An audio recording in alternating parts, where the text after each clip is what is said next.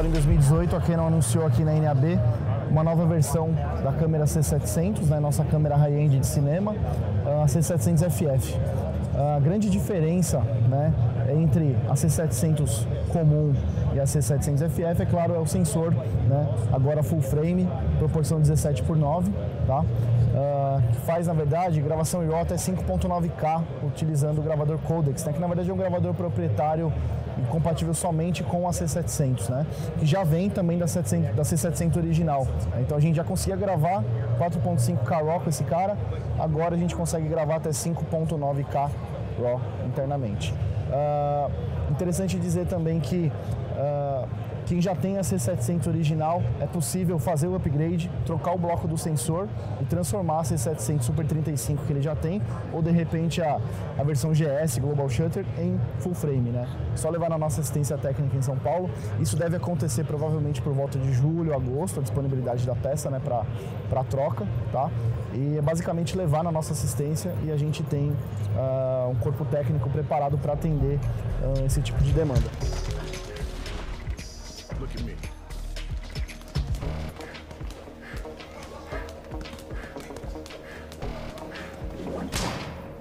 Bom, sensor full frame, né, obviamente um sensor maior e numa proporção diferente também do sensor da 5D Mark IV, né? Ele é um pouquinho mais widescreen, eu diria, do que o sensor uh, um pouco mais quadrado da 5D Mark IV, né? Uh, o que, que você ganha com isso? Além de proporção, você ganha na horizontal um pouco mais, mais de pixels também. É interessante dizer que, obviamente, ela é compatível com todas as lentes Canon, principalmente as lentes full frame, né? E ela tem alguns modos, na verdade, que te permitem gravar, por exemplo, 4K em Super 35. Então, aquelas lentes, sei lá, por exemplo, 30-300, a 1880 continuam compatíveis, né, 1720, né? Só que em modo 4K porque elas cobrem sensor Super 35. Então a gente consegue setar a câmera para modo Super 35 e utilizar essas lentes. Posso utilizar um adaptador também com lentes broadcast, né? Ativo o modo Super 16 e automaticamente eu já sou, já estou gravando 2K HD com lentes broadcast também. É claro que a versão PL eu consigo utilizar a lente Super 16 também nessa configuração, né? Então, na verdade, ela acaba ganhando uma série de modos diferentes, né? Então, nós temos lá o full frame até 5.9K, Super 35 4K, Super 16 né, disponível. E outra coisa que é interessante também, a gente consegue gravar internamente em 4K, assim como a C700 original, né? Mas dessa vez fazendo dar um sample de 5.9K para 4K. Então a gente ganha em sharpness, ganha uma série de, uh, de features interessantes, né? Tá bom, uma imagem grande a gente faz o downsample para algo menor, então detalhes, né? Falando em detalhes em si, a gente acaba ganhando muito mais, muito mais qualidade também.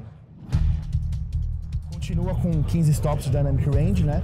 Utilizando o Canon Log 2. Claro que ainda tem Canon Log 3 e o Canon Log original, uh, Wide DR e uma série de outros uh, espaços de cor que a gente consegue carregar, inclusive conseguimos criar os nossos próprios, né?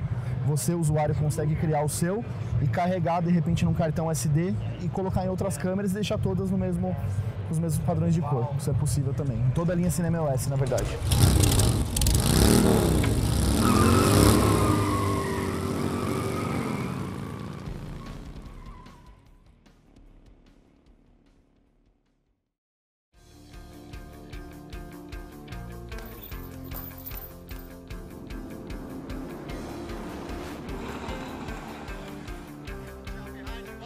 Então, falando em lente agora, ah, a Canon anunciou também nessa NAB uma nova lente Prime, né? Na verdade, a gente já tem um kit de seis lentes Prime, né? Que nós temos, na verdade, 14, 24, 35, 50, 85 e 135. Estamos adicionando agora 20 milímetros também, né? Um kit de 6 agora virou um kit de 7 lentes, tá? Todas elas com bocal EF, são lentes super claras, tá?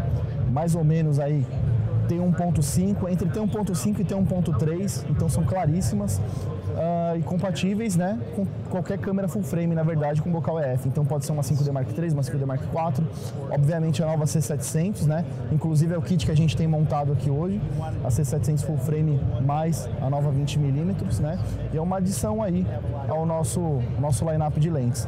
Claro que aqui a gente também está mostrando as duas Compact Servo, 1880 e 70-200, que tem um custo-benefício muito legal. Né? Temos no Brasil para testes também, né? disponíveis, nossos revendedores já têm também em estoque, né? para caso de compra. 17120, CN7, né, também muito conhecida já, 50 mil, que é uma lente única, né, com extensor de 1.5, então é uma lente que normalmente vai de 50 até 1000 milímetros, com extensor de 1.5, 75 a 1500. Né. Só quem não tem essa lente, é né, uma tecnologia muito Uh, demorou muito tempo para quem não conseguir chegar nesse nível de, de pureza ótica, para a gente conseguir manter uma abertura interessante né, e uma distância de zoom tão, tão grande assim. Uh, nós temos também aqui 15,547 e 30,105, né, que são nossas compact zooms, e a nossa Cinema Zooms 30,300 e 14,560 também estão aqui disponíveis para teste. E é legal dizer que nós temos essas lentes no Brasil também, né? Uh, além de, é claro, mostrar essas lentes nos shows, nas feiras, eventos, né? Uh, algum cliente interessado em adquirir, nós temos disponível para teste também na Canon do Brasil, todos esses modelos de lente.